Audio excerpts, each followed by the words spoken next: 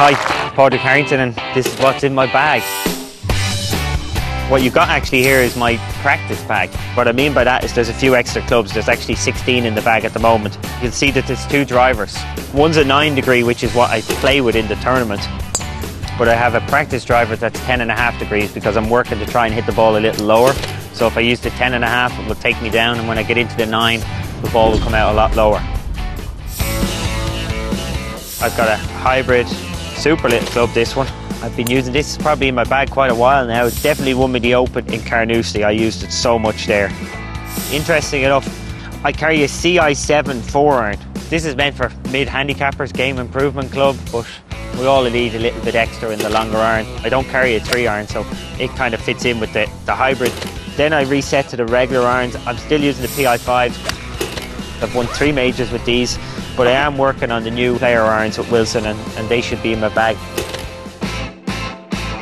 I've got two 60 degree wedges in here, which is interesting. This is my game gamer club, and I have a practice one for practicing out of the bunkers. Essentially, I use this one in bunkers so that I don't wear out the grooves on the on the on the gamer wedge. You got to keep your grooves as fresh as possible. What else is in the bag? We've got a double loop strap for the caddy. Uh, my caddy is about 10 stone, so he needs that for the carrying this bag. I think it's one of the biggest bags on tour. Top pocket, it carries the money, very important that. A couple of old gloves for practice. Interestingly, I need more than one. One for my hand and two for under my arms to keep me connected.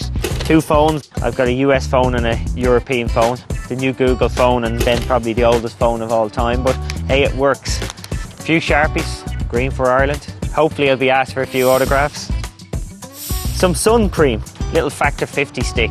You just rub it on when you need to put it on. I have a few non-melanoma skin cancers cut out. No excuse for not putting your sun cream on when you have something like this.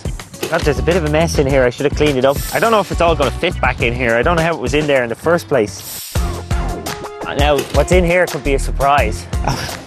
a few practice aids. I've got my little medical bag to be, you know, headache tablets, plasters, things like that in here. There we go. Bandage in here, a bit of tape, all sorts of things to keep me going when anything goes wrong. My water bottle, very important to keep hydrated. This pocket carries the tees, carries a bit of the food as well. That's about me. Padraig Harrington's golf bag.